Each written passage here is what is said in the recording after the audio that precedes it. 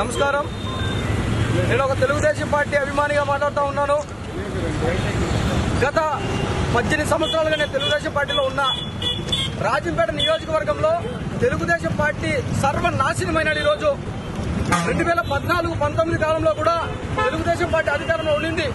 అప్పుడు కూడా ఏ ఒక్క తెలుగుదేశం పార్టీ నాయకుడికి కార్యకర్తకి అప్పుడు కూడా అన్యాయం జరగల. ఇప్పుడు అదే పరిస్థితి జరుగుతూ ఉంది. లాస్ట్లో బాలసుబ్రహ్మణ్యం గారికి టికెట్ ఇచ్చారు. మేము అన్ని ఫస్ట్ బీసీఆర్తో ఉన్నాం. ఆ తర్వాత జగన్మోహన్ రాజు రెండు వర్గం. అందరూ కలిసి ఆయన పార్టీలో దాదాపు ఎనభై వేల ఓట్లు ఆయనకు వచ్చే విధంగా మేము పోరాడాం కానీ ఓడిపోయాం. అది పక్కన పెడితే ఎలక్షన్ తర్వాత అందరూ కలిసి ఆయనకి ఓడిపోయినాడు కదా. ఆయన ఎమ్మెల్యే. మా అధికార పార్టీ ఏదైతే ఉంటుందో ఓడిపోయిన అభ్యర్థి ఇన్ఛార్జ్ ఎమ్మెల్యే అన్ని ఆయనే. ఆడికాడికి పోతే మేము పోతే ఆయన కాలుతో తన్నాడు. ఆ తర్వాత ఏమైంది?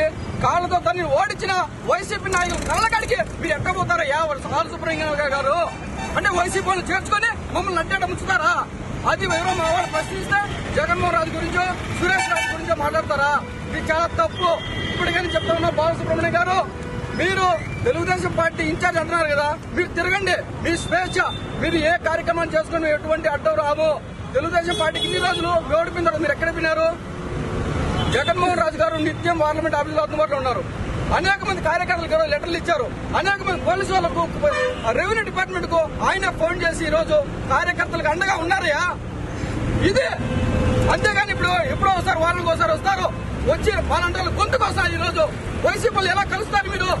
అని చెప్పడానికే ఈ విషయాన్ని మేము అధిష్టానం దృష్టికి తీసుకెళ్తాం. పాత కార్యకర్తలకు న్యాయం చేసే వంతకు మాకు అన్యాయం జరిగినా పడలేదు తెలుగుదేశం పార్టీని నమ్ముకునే కార్యకర్తలకు న్యాయం చేసేంత వరకు వాళ్ళ తరపున మేము పోరాడతామని చెప్పి ఈ సందర్భంగా తెలియజేస్తా ఉన్నాం.